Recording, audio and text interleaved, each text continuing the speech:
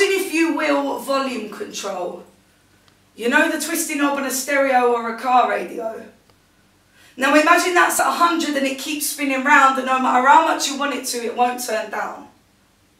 Now imagine that cacophony in the caverns of my head because it's only getting louder when I try and go to bed. It's every wire of my brain being caught on a sound.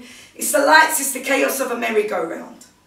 Because I'm tuned into higher things, distracted by higher things. I grow wings, my soul sings, distracted by higher things.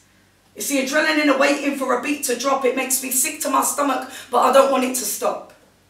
It's Adderall and Ritalin, Metadate and Focalin, Citalopram, Diazepam, Prozac and Quetiapine. I'm thankful for the relief, though it's brief, and then I miss me.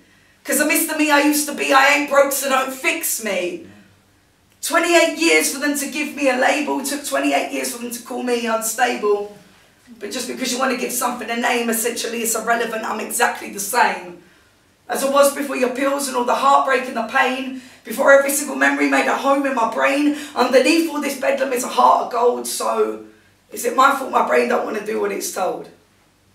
I wasn't brave enough before to do it on my Jack Jones. I wasn't brave enough before to sit in my glass house throwing big stones. But the haying and the pungas and the clouds deep rooted growing flowers in my chest bones. I'm growing flowers in my chest bones. Because I want to change the world and I'm mad enough to think I could. I lost my mind a thousand times, screwed up enough to know I would, so should I shut my mouth? Don't ever think I fucking should. My words, they give me purpose like being loved or motherhood. And I could blame that on anxiety or I could blame it on ADHD, but my hyperfocus and creativity, you can't take that away from me. And I could blame it on society, but I know my brain is down to me. My hyperfocus and creativity will take me places that you'll never reach.